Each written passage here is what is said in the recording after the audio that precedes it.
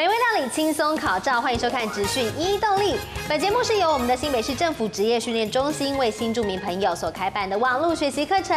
那么今天节目当中呢，非常开心，也非常荣幸，要邀请到的是我们的帅哥主厨陈奇文老师。各位观众朋友，大家好，我是奇文。奇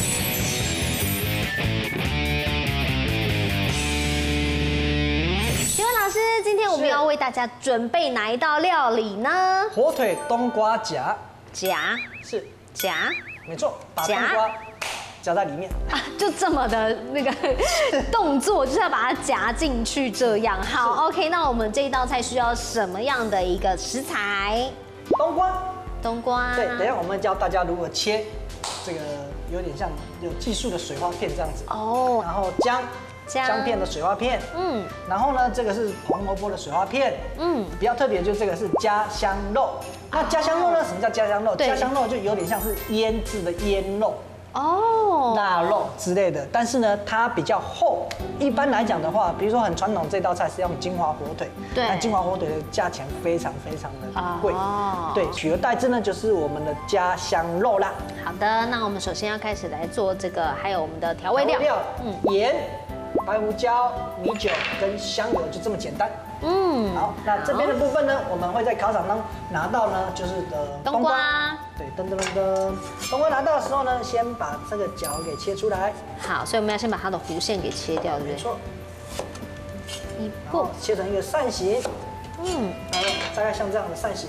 好，给镜头看一下扇形的部分。好了，切完扇形了之后呢，记得呢底部呢要稍微修一下，要不然它站不起来啊。你还哦，没站的时候你就切到手了，对不对？懂了，所以我们其实也是要顾虑一下它的这个算是它好切的方式，要记得修平。好，我们先从中间一刀切下去，然后左跟右，好然，后它就有一个凹槽出来了，先切中间，对它就像这样有一个凹槽出来，有没有？在这个部分，有很像一个爱心。对，爱心。好，然后呢，在这边呢再一刀，这边再一刀。好，切这个好像也要稍微小心跟注意一下，对不对？因为看起来好像有一点点不容易切。好，所以呢，它这个纹路就出来了，有没有？一刀、两刀、三刀，哦，大概像这样子。好，接下来呢，比较特别的就是我们要夹住东西，对，有点像那种吐司，有没有？所以一刀切断，一刀不切断。哦，对，所以呢，来，我们不单切断哦，而且这个不能太厚。要薄薄的一片。对，好，再切一刀，切断。哦，很薄哎，老师。对，所以呢，它就能可以打开夹我们冬瓜夹，哦，原来这个夹就是这个意思。所以这个又叫做蝴蝶片，像一个蝴蝶，有没有？有哎。对，没错。好，所以记得要要总共要做六个，好，一刀。所以大家要拿捏要。拿好哦。下一刀要切断。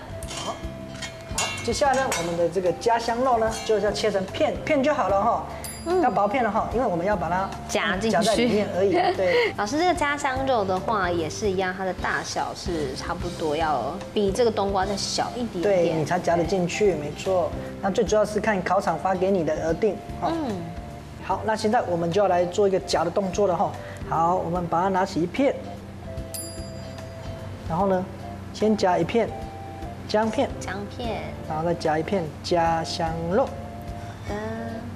好，这时候我们就要把盘子拿上来喽，然后就把一片一片一片一片，总共六片，把它排好就好了。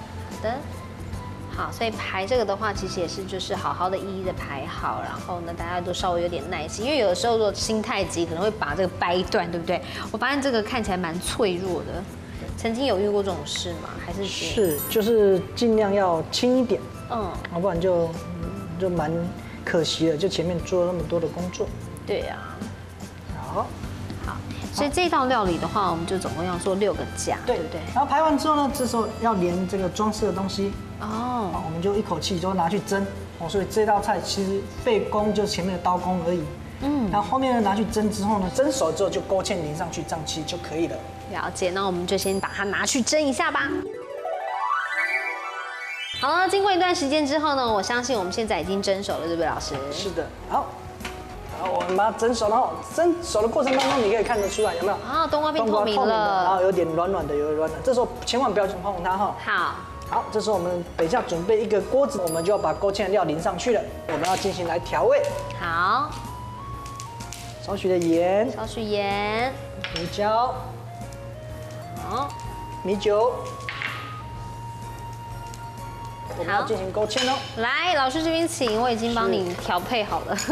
好的，没问题。来，少许的芡，芡不要太浓，但是也不能太稀，要能挂上在冬瓜上面。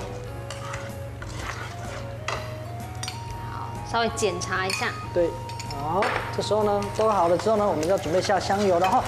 好，好，先下香油，让它油亮油亮。好的，然后这时候呢，在入滚了之后，我们就可以关火，然后呢，好。我们能够均匀，要记得哈，一片一片的把它淋上去。哦，为了是要让它看起来颜色非常的剔透，对，不能从中间就淋了哈，一定要一片一不能一。整个这样子下去，对不对？每一片呢都要均匀的淋到去，哇，这样才有这卖相跟食欲啊，对不对？嗯，好，那我们今天呢这道菜呢，火腿冬瓜饺啊，就完成喽。哇，这道菜呢看起来呢颜色真的是非常的剔透，大家呢在这个考试之余，如果大家要回家练习的话呢，也是一个很不错的选择哦。好，相信大家呢今天看完这集之后，应该也有满满的收获吧。如果想要查询更多的资讯的话呢，可以欢迎上我们新北市政府职业训练中心的网站，可以查询更多的资料喽。那我们就期待下集见了，拜拜，拜拜。